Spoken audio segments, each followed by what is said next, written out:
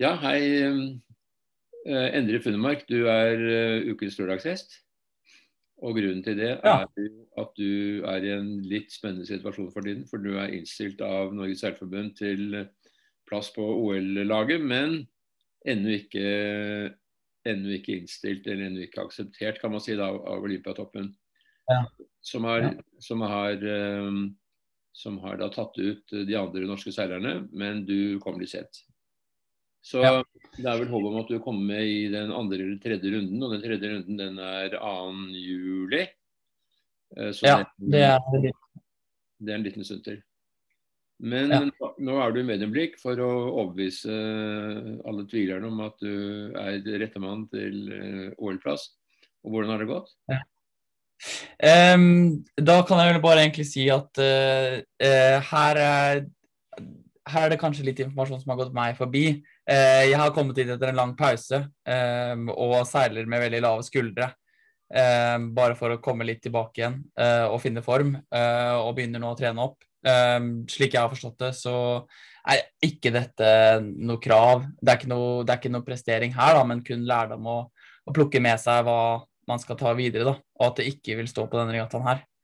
Um, slik jeg har forstått det, i hvert fall. Um, så for min del så um, går det sånn som det pleier å gå etter at man har tatt litt, et litt lengre avbrekk fra brettet, at det, det føles litt ferskt. Vi hadde to dager hvor vi seilte rundt på kanalene i Frisland her i Nederland.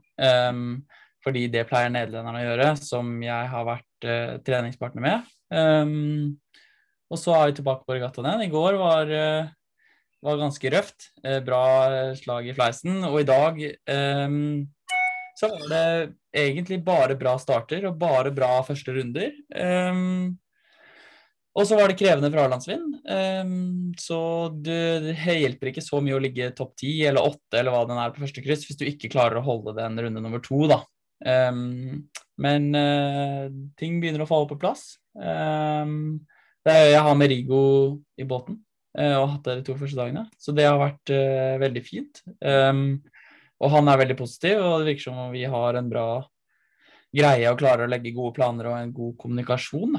Um, og så får vi, Det er jo fortsatt uh, tre dager igjen, så får vi bare se hvordan ting går. Um, og en av planene er at du skal trene med de nederlandske seilerne, for de er vel kanskje de beste i verden nå i windsurfing? Ja, det har de vært. Eh, Kiran eh, vant både EM og VM i, i år, Mm. eh, og har vel vært Det er vel tredje året på rad han vinner VM, Mm. Um, og er liksom det store, den store, største gullkandidaten til Tokyo. Um, så, så det er planen, å trene med de både i juni og juli. Ja. Mm.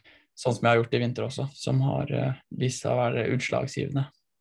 Men du kom ut av skyggen til Sebastian Van Hansen, som har vært vår beste, beste en god stund.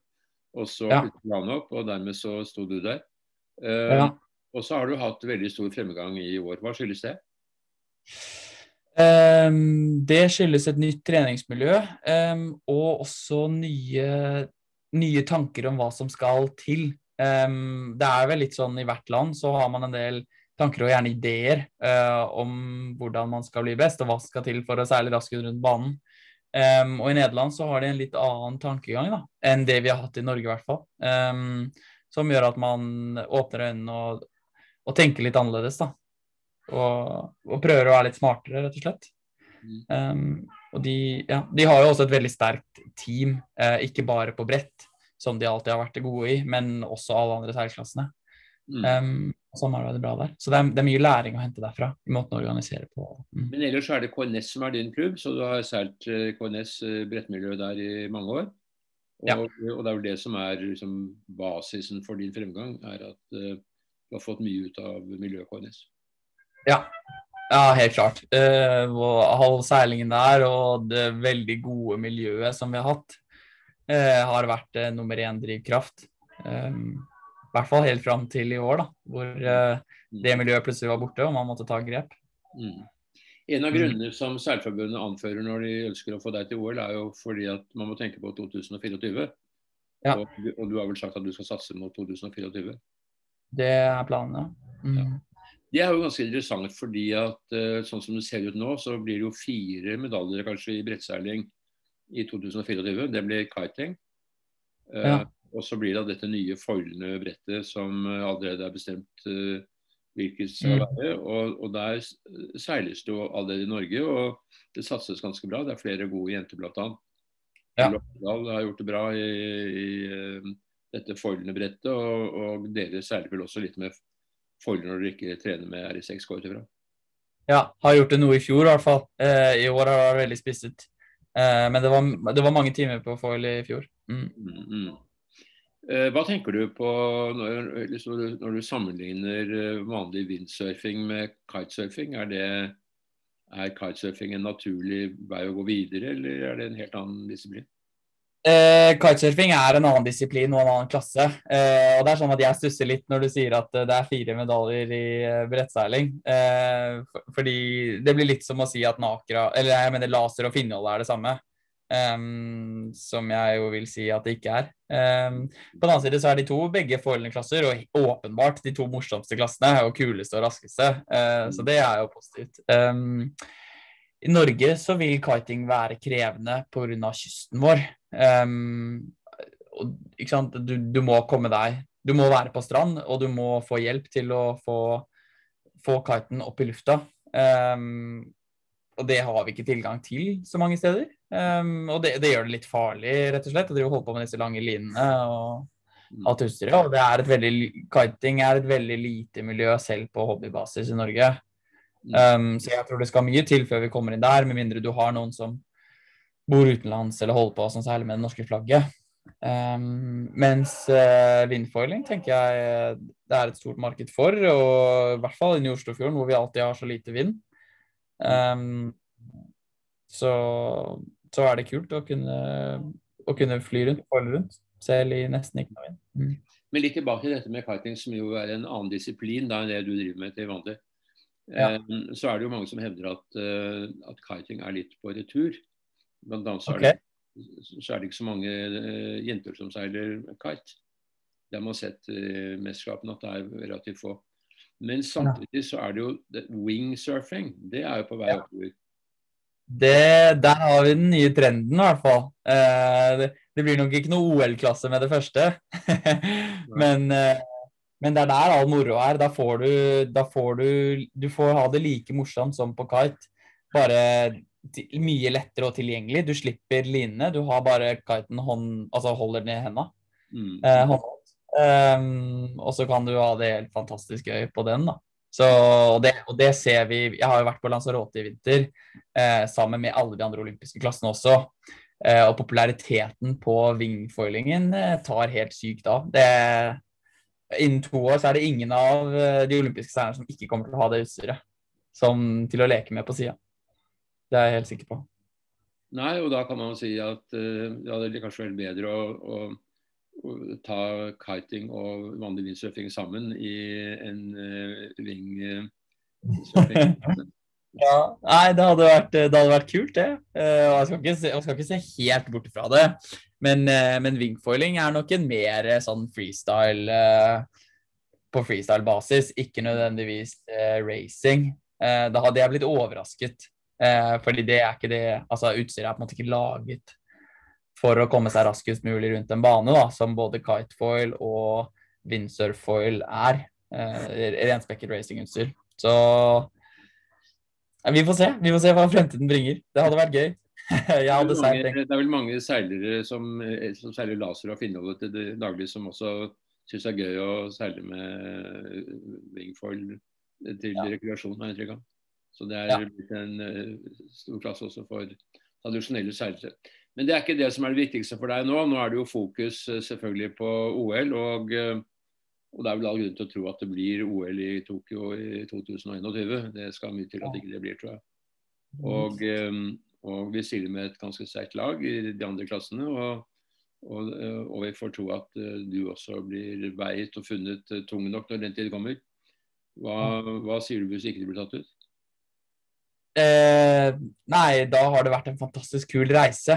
Eh, og de siste fire årene eh, hadde jeg på ingen måte brukt annerledes. Eh, det har, eh, vært med gode venner fra start av, og det har blitt etablert uh, nye, veldig sterke forhold. Og det er Jo lenger man kommer på denne reisen, jo mer ser man at det er reisen og ikke målet mm. som er hele greia. Det er en livsstil, og det er alle de verdiene og holdningene du tar med deg videre. Og alle de vennskapene du har laget, og alle de stundene man har tilbrakt sammen. Um, så om jeg blir tatt ut i OL nå, så vil jeg ikke si at det var det kuleste øyeblikket i karrieren min, f.eks. Fram til nå. Det tenker jeg ikke. Jeg tenker at uh, Ja. Nei, det, det er faktisk det er, det er, ikke det som topper det. Det er ikke det kuleste. Det har vært hele veien sammen med hele gjengen. Mm. Hva, gjør du, hva, gjør du, når du ikke, når du ikke seiler brett? Eh, det, det, går mye tid i organisering og seiling av brett. Eh, det er det som er lidenskap. Mm. Eh, men jeg studerte f.eks. et år på idrettshøyskolen i fjor. Ja. Um, og så har jeg litt latente planer om studier. Um, men um, ja, nå er det liksom seiling som er pri én, uh, og kommer til å være. Og så får vi se om det blir noe på deltid mm. ved siden av et mm. Hva syns du om RS6-brettet? Eh, jeg var med på testeventet i Garda i 2019 hvor, og var en av de utøverne som stemte over om vi skulle beholde brettet eller ikke. Eh, og jeg stemte veldig hardt for at vi skulle ha inn eh, vindfoiling. Ja. Eh, og jeg tenker at RS6-brettet har vært en fantastisk klasse. Eh, og på den tiden det kom, så var det revolusjonerende, og det har en del egenskaper Formula har. Eh, Formula-klasse, altså. Um, som bare er på å finne, eh, samtidig som du kombinerer det med et ganske kult aspekt på kjølen i displacement mode. Um, og, brettet er helt utrolig teknisk krevende. Um, og det har opptil 20 forskjellige moduser og teknikker som du benytter av, og alt som utspiller seg på fart, og derav av altså sånn avgjør hvilken taktikk du må bruke. Um, og jeg syns det har vært fantastisk kult å lære det brettet. Eh, samtidig så kan jeg med stor glede si til den yngre generasjonen at den, den, jobben der skal de få lov å slippe. Fordi det tar lang tid å lære å beherske. Um, og det er noe av det som er så kult med foil, er at uh, den Altså en weekend warrior, den, de som seiler på hobbybasis, vil i mye større grad kunne holde følge med eh, toppidrettsutøverne som satser fullt på foil. Fordi det ikke er nødvendigvis like fysisk krevende, og hastighetsforskjellene er mindre. Um, og det gjør igjen at seilingen og foilingen plutselig blir mye mer én samlet gruppe. Mm. Plutselig så ser du folk i alle aldre som kan være med å foile og ha det gøy, og det faktisk er jevnere racing enn det det ville vært hvis alle seilte R6. Mm. det, det er vel det vi gjør. Ja. Ja, så Det betyr at du er håp om uh, større rekruttering uh, gjennom forberedte enn det har vært med, med RS6? Ja, og, og, det er også fordi dette er fantastisk kult. jeg seilte mye i Oslo sommer i fjor, og på en fin solgangspris hvor du har 1000 båter på sjøen og 500 av de ligger i Middagsbukta, og du kan fly gjennom der i 30-40 km i timen i 4-5 sekundmeter vind i badeshortsen og spille musikk fra høyttalerne i ryggsekken det er ganske Det er en surrealistisk følelse. Det er helt rått, rett og slett. Um, og du ser barna står og peker og roper 'pappa, pappa, se han flyr'. Uh, det er ganske kult. Mm. Det, det, bør prøves. Men er det en del av opplevelsen å ha høyttaler i ryggsekken? Det, um, det, er jo litt mer turseiling. Uh, men ja, det, er, det mener jeg. Det mener jeg. Akkurat. Vel, uh, det er all grunn til å håpe at du kommer til Tokyo. Mm. Det, har du vært der? Eh, ja, 2019 så hadde vi World Cup. Mm. På uh, Sagami B ved Norshima? Ja, samme sted. Mm. sted akkurat, ja. Hva venter du av forholdene der? Uh, hete. Um, og uh, mye sjø. Uh, mye bølger, mm. kan det være. Mm. Levende sjø. vi, har, vi har jobbet mye med den type sjø gjennom vinteren. Mm. Um, um, og en regatta sånn som alle andre regattaer er. Det kommer til å være fem dager med seiling. Og ja, det kommer til å være stort, og det kommer til å være media. Uh, men det er å gjøre det så likt som alle andre ganger og få gjort jobben. Um, I OL så kan alt skje. Uh, og folk kan være for nervøse, folk kan ha trent for hardt, folk kan ha trent for lite. Um, og jeg stiller ikke nødvendigvis fra en uh, posisjon med masse press på skuldrene. Så det er bare å legge ned innsats og se hvor langt man kan komme med det.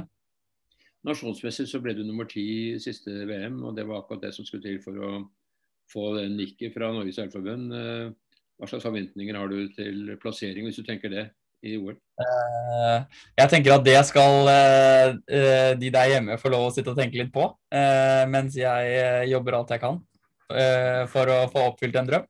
Mm. Uh, jeg tenker at uh, det får være med det. Men ja. Jo bedre, jo kulere, helt klart.